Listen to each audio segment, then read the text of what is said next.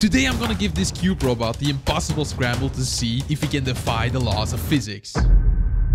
This is the GAN robot. It's an $80 machine that is programmed to be able to solve a Rubik's Cube.